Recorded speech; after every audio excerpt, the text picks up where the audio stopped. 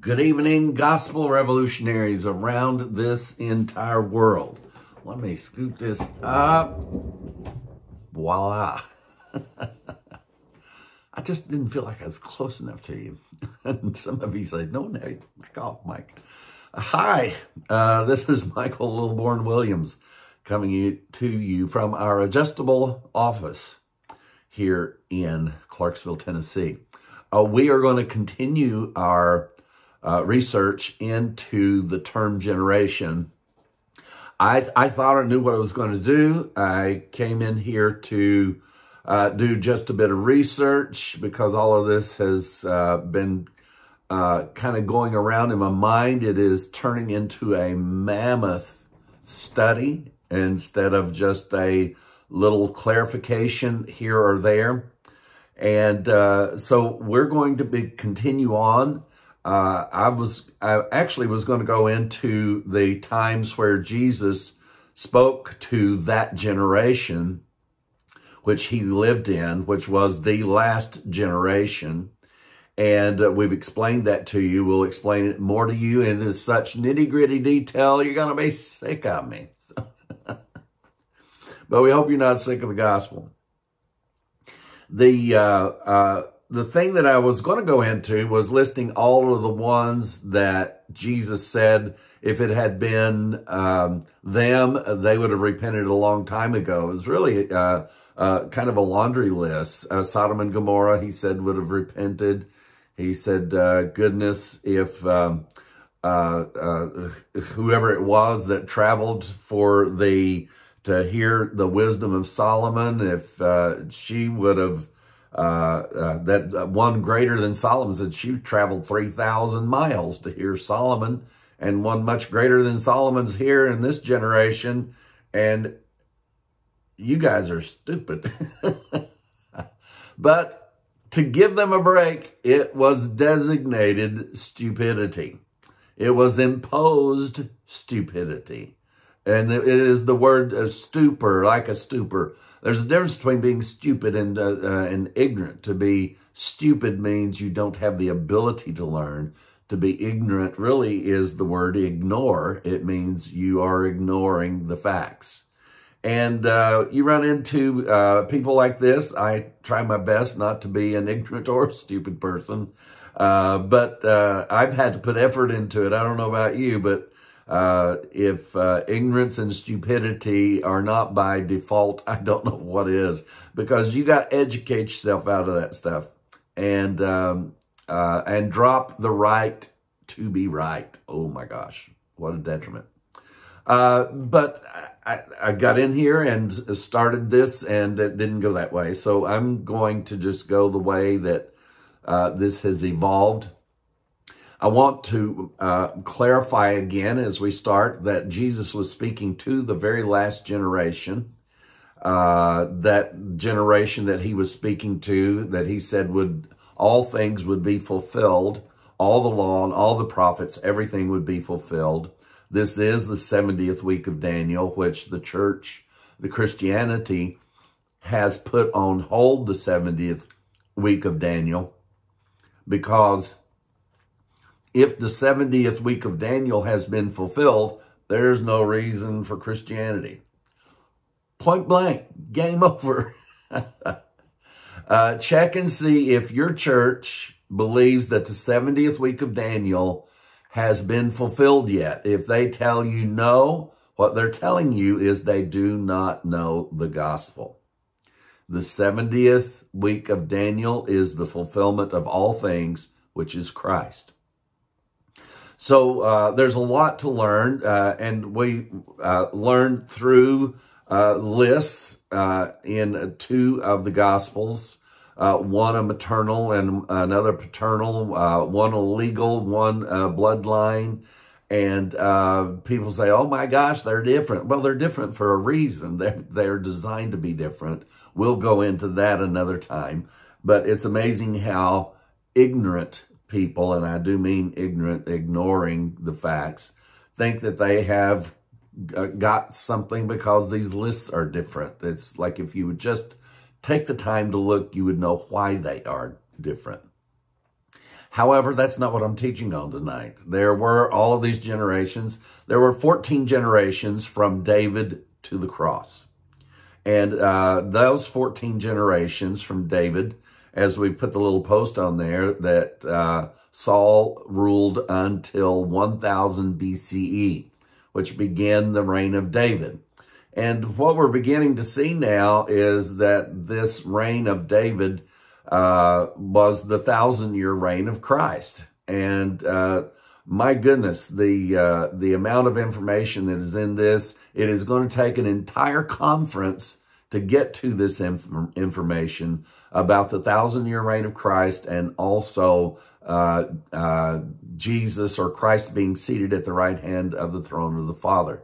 Two very important points that uh, people teach on as something in the future and we're wanting to show you the proper context of these two major things that just get flung around to wherever. And this generation gets flung around to wherever and for whoever. And when is this generation going to come? This generation ended.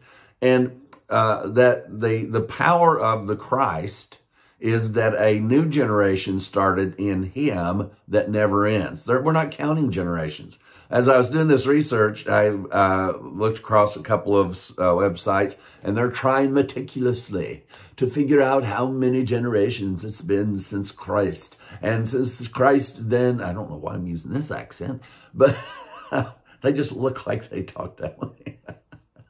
And since Christ, then this is all, all, uh, all of this, the next generation is the, this generation is the next and the last one. And well, there's been, uh, 51, 52 generations since the cross. You can make something out of it if you want, but in God's economy, there's only been one generation. And that one generation is a righteous generation. And uh, it has been uninterrupted generation ever since the resurrection of Christ. Uh, if you do not believe in judgment, you do not believe in the Christ. You can believe in Jesus, and you can even have a personal Jesus. You can make Jesus into anything you want. Uh, uh, you can make him your Walmart parking attendant. Uh, I know a lot of people that do that. Um, uh, however, when you identify Jesus as the Christ, everything changes about Jesus. The issue of personal suddenly is removed from all of this. You see, the disciples knew Jesus personally. There was not a need to know, uh, to know anything about him uh, uh, the thing about him being the Christ is a revelation that comes later on. Remember, uh, Jesus asked them, who do men say that I am? And, you know, a couple of the disciples took a shot at it. And uh, and then uh, finally, Peter speaks up and says, you know, that you're the Christ, the Son of the living God. And I got kind of tickled today when I was thinking about it because Peter was just so dumb. it just uh, everything that was ever explained to him, it had to be three times. And everything that he had explained to him when he went and talked about it, he, he didn't explain it. He didn't even explain what is written that was told him. He was told by Jesus three times in the letting down of the sheet story, uh, don't call unclean what I have already cleansed. It took him three times to get that message across to him. And then when he went running back, all excited to the uh, Jews and, and said, oh, I have such good news. Even the Gentiles can be saved. Well, that wasn't the message at all. Uh, you know, again, Aaron, thanks for playing, uh, Peter, uh, or Pete, as I've started calling him now.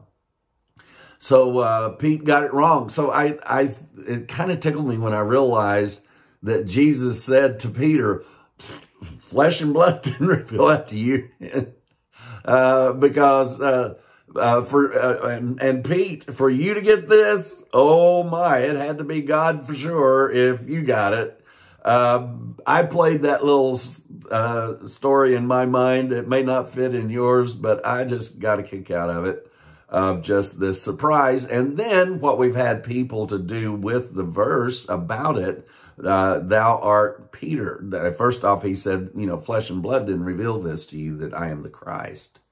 Uh, uh, he said, but my father uh, has that information. My father had that information and uh, and that revelation. And then uh, he goes on to say that you're you are Peter, and upon this rock will I build my church. And uh, what he's referring to is the revelation that he's the Christ. And he's saying, I'm going to build my church on this. Well, the, the name Peter means rock, but the term rock in the verse is not the term uh, the Greek term for Peter. Go look it up for yourself. It's so simple. It's ridiculous that uh, uh, more than a billion people uh, stand on this single verse uh, to justify something that is not true. Uh, the church was not built on the apostle Peter. just no no confirmation of that anywhere whatsoever except within the confines of Catholicism. Uh, but when you embrace Christ, then everything changes. Just kind of like uh, uh, uh, Jesus told Peter that day. He said, uh, you know, who are you? And they said, well, some say you're Moses. Some say you're uh, the um, John the Baptist. Some say you're uh, Elijah. Um, but uh, then came Peter and said, but I say you are the Christ. And that's when Jesus laid down the marker for everything that would happen from that point forward, that of what all things would be built on, on this issue of the Christ. And there's a lot of you that have diminished the Christ to embrace a personal Jesus. I'm really, I'm begging you to stop this. I did it most all of my life. And uh, I did not realize that I was dishonoring Christ by making Jesus my own personal Lord and Savior. Because that just is not the truth about the Christ. Uh, the term Christ itself is universal. There's nothing about the term Christ that is anything personal whatsoever. Uh, Jesus had personal encounters, uh, but this issue of him being the Christ is something else altogether. You see, if you do not believe in judgment, you don't believe in the Christ because the Christ came to take all judgment. Now, and for you Christians who think that judgment is still yet to come, you also don't believe in the Christ. Oh, you've got a Jesus. I'm, I'm not doubting that you have some definition of Jesus, but uh, you could call him Elijah. You could call him John the Baptist. You could call, call him a Baptist if you want to. Uh, but if you think that judgment is still coming, you do not know Christ. You just don't know Christ. Uh, and your personal relationship with Jesus is the greatest stumbling block to truth that you have ever experienced it and ever experienced and you don't even know it yet. We're asking that you stop and open your eyes and look and see. Uh, if there uh, if there was never judgment and never wrath, then uh, any old Jesus would do. You see, if judgment and wrath never existed, then just any old Jesus would do. That I mean, you can make Jesus into anything you want. And that's why there are 46,000 denominations is because uh, people have made Jesus into anything they want, everything except the Christ. And uh, we're, goodness, I, we're in so deep now, this is going to take uh, forever to get through it, and I'm okay with that if you are. uh, if there is still a judgment to come, if there is still a judgment to come, any old Jesus will do. Uh, because, but not the one, the Christ, the uh, the anointed one, the one of God, uh, the the first begotten of the Father. Uh, this Christ that, uh, like I said in one of the programs, I used to think Christ was Jesus' last name. Uh, but ever since Jesus is the Christ, everything changed. All things change when Jesus is Christ. Nothing changes when Jesus is Jesus. He's, he's simply the son of Mary. Uh, there's not anything changes with just Jesus. But the Christ, uh, there's a lot of people in uh, uh Spanish-speaking countries that their name is uh, Jesus. Jesus is, is Jesus.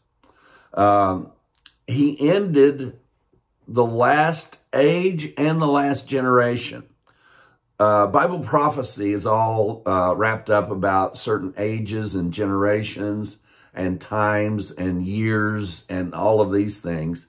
And as we told you, the 70th year of Daniel was fulfilled at the cross. And uh, man, I tell you, some of you are ready for an, a wonderful uh, divine awakening about the Christ. And um, uh, he started a new generation that will never end. So the, Christ that that brought an end to all generations, it's amazing how that they're all laid out in 14 groups of 14. And we are about to learn some things about these things that uh, you, believe me, you'll be glad you lived long enough to learn them. I know that I am. But what Jesus brought an end to was the last age and the last generation. And, uh, and he brought about the end of the, the world so that he could bring about a world, an age, a generation that would never end. And that age has never ended. If you hear people trying to explain Bible prophecy based on the ages counted and numbered as they were before Christ, why isn't there a list of generations after Christ? They certainly had the room and the time to do it, but uh, nobody seemed to think that that was important.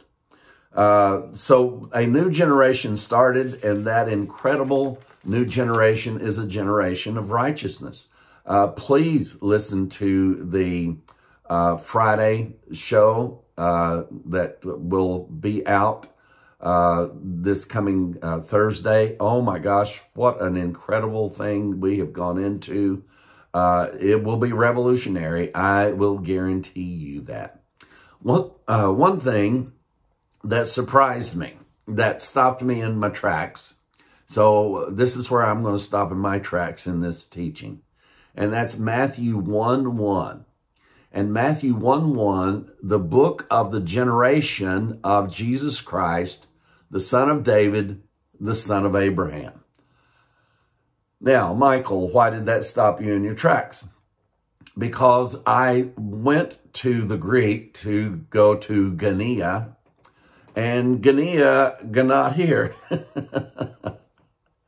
uh, so suddenly, this word generation, I thought, well, it's funny that it's singular, but that sometimes is implied and sometimes uh, uh, it uh, gets added for seemingly no reason and sometimes there's a reason for it. But here it is singular and it says the book of the generation of Jesus Christ, the son of David, the son of Abraham. What's different about this? Number one, the word generation is not genea. It is Genesis. Uh, how many of you remember when we found the genesis of the church? Uh, Christianity has been saying that the genesis of the church was uh, when the church became the body of Christ. However, Christ himself and Paul both identified the ecclesia, the church, the very same one, uh, and uh, identified the very same way as being manifested the first time when the law was given. That was the genesis of the church as far as Paul is concerned and Jesus. Now, that Genesis began there and then eventually became the whole world, which is the body of Christ. But this is really astonishing, and there's more here than what my little head's going to be able to wrap around for you, me, or anybody else. We're all going to have to do some research here. So where does Christ start? Well, Matthew says that the genesis of Christ is in David. The genesis, the beginning of Christ, is in Abraham. Uh, we know also that in the beginning was the Word, and the Word was with God, and the Word was God. So one could say that the genesis of the Christ was before the foundation of the world.